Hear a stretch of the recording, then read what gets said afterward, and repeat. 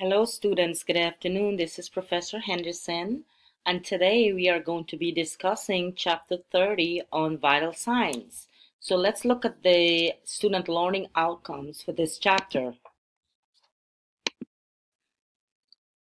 So at the completion of the vital sign chapter, student will be able to discuss the mechanism of thermal regulation, describe the mechanism of heat loss and conservation, discuss the physiological changes associated with fever, list various components of vital signs and appropriate parameters for adult and pediatrics, discuss how cultural and ethnicity impacts blood pressure, identify various techniques to assess an infant's vital sign, delegate vital signs measurements to assistive nursing staff, List some non-pharmacological methods to treat fever.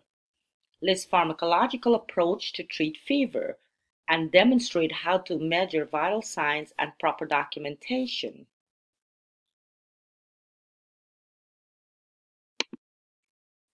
So as we know that it is the responsibility of the registered nurse to measure patient vital sign and to analyze these findings. However, an RN can delegate to certified nursing assistants and PCAs to check a patient vital sign. But it is the sole responsibility of the RN to analyze the findings. So let's say you are the nurse on a busy med surg unit and you had delegated to one of your PCA to measure Mrs. Jones' vital sign. She checked it and she came and she said it's um, the respiratory rate is 27 and her temperature is 101. So what is your responsibility as the RN on the unit? Are you going to take these um, number as face value or you are going to go and check it yourself to validate these findings?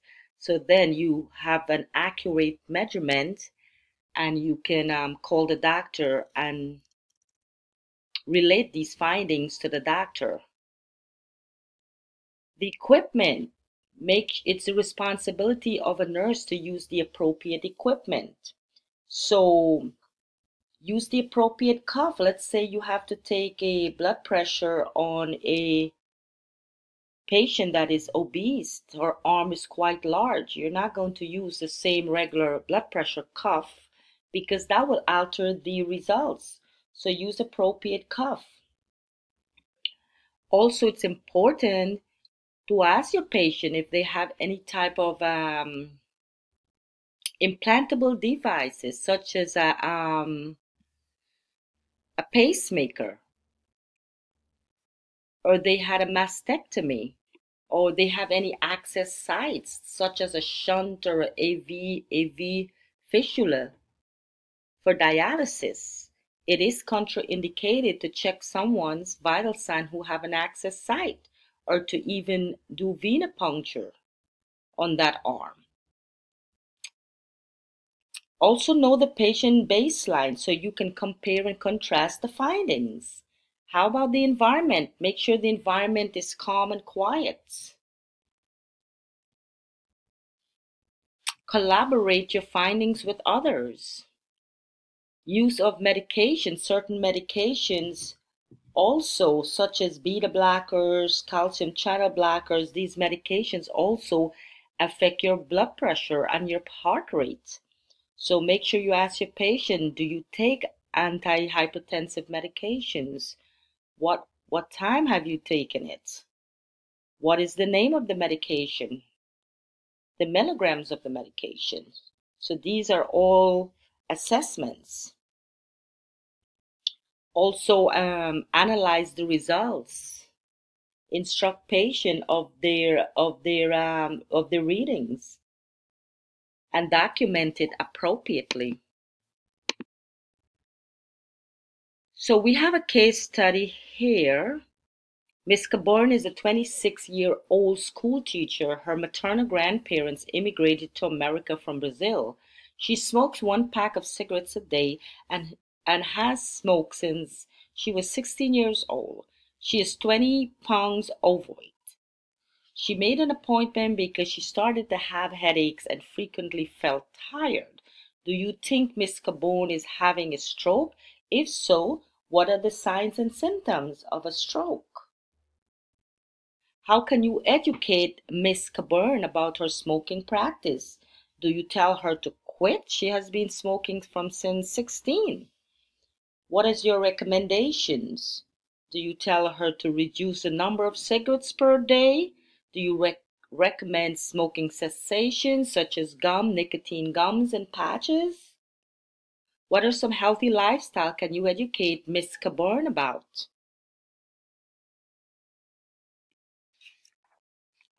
Making healthy food choices, avoiding fatty foods, and eat fresh fruits and vegetables.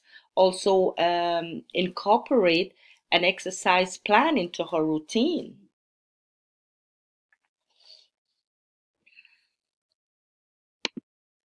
Body temperature physiology.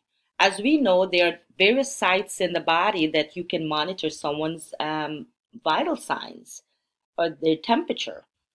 You can check an oral temperature, rectal temperature, axillary, tympanic, temporal. These are various sites for checking someone's temperature. It's important to ask someone before checking their temperature. Have you had something hot or cold to drink? If they had something hot or cold, then you'll have to wait 20 to 30 minutes before checking their um, temperature because it might alter the findings. What is the um, the most accurate um, site to check a temperature? The rectal is the most accurate site. acceptable range of temperature. So 98.6 to 104.4 and if you convert that into centigrade it's 36 to 38 that's the normal temp oral temperature. However as you know with geriatric patient these numbers may differ.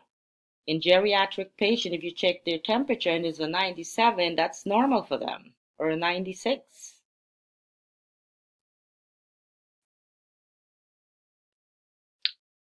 So the most accurate measure of measurements, what is the most accurate method of measuring temperature? We said it's the rectal. Do you think it is beneficial to take an oral temperature on a patient with facial trauma? No, it's contraindicated to take um, oral temperature on a patient that has um, facial trauma or a patient with seizure, a patient with CVA. What body system regulates temperature? We know it's the hypothalamus, that's our thermostat.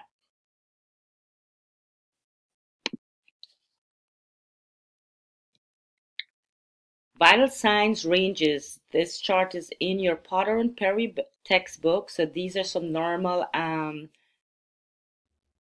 vital sign measurements for an adult versus an um,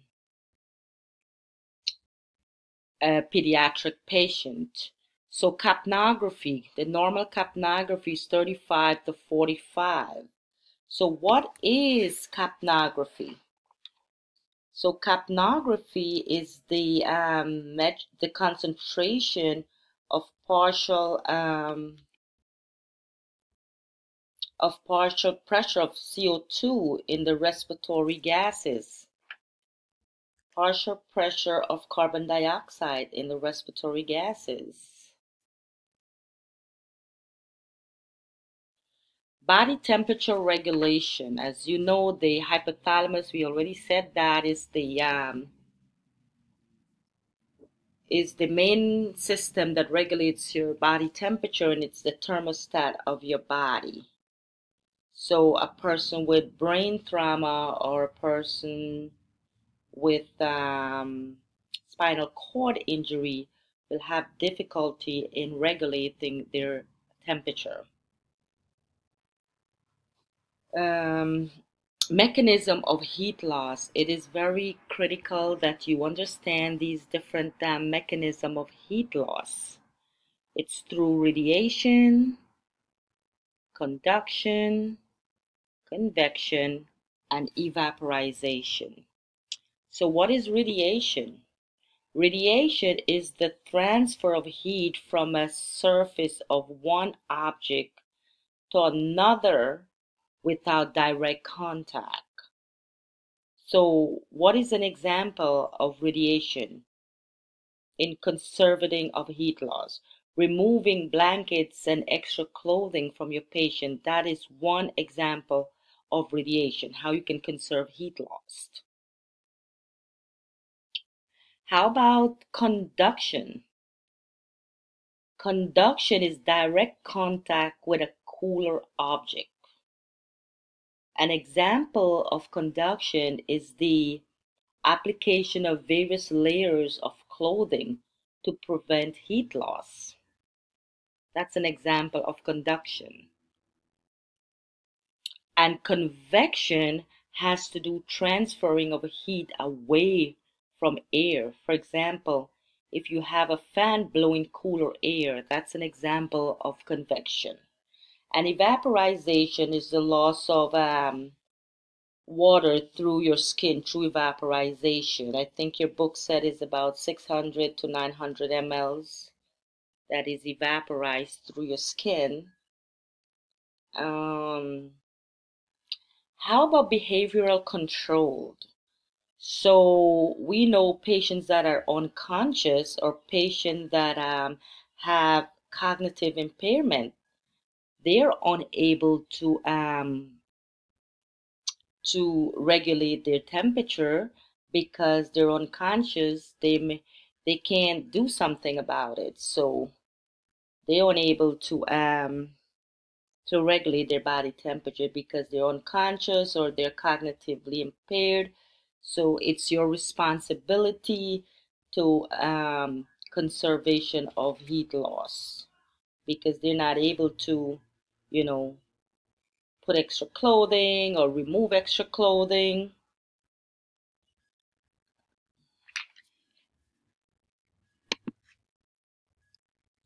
I have an NCLEX style question here. What is the most appropriate definition of vital signs? signs and symptom of a disease, indication of body function, part of human composition, physiological and psychological functioning. So the correct answer will be indication of body function. So it tells you how well your body is maintaining homeostasis. So factors affecting body temperature we have various factors here. So, you know, age, the very young and the very old, it's at risk for altercation in temperature. We know that. So, providing a baby's born, you provide a warm blanket for them to maintain thermal regulation, prevent um, loss of heat. How about exercise? So as one exercises, it increases their blood supplies and the breakdown of fat. It also increases their metabolism and heat production. How about the circadian rhythm?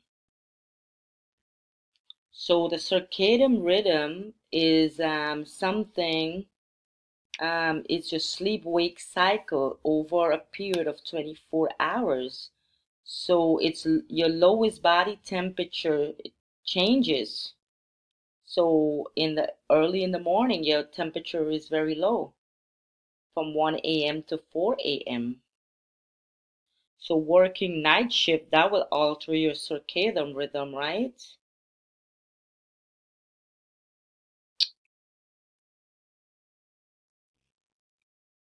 How about hormonal hormonal changes or hormonal level during men, menstrual cycle? Your also your temperature have a tendency to go up one degree, so it's a good predictor for pregnancy also, or someone's trying to get pregnant. They always uh, monitor their um, their temperature during that peak time. How about stress? Stress also affect your body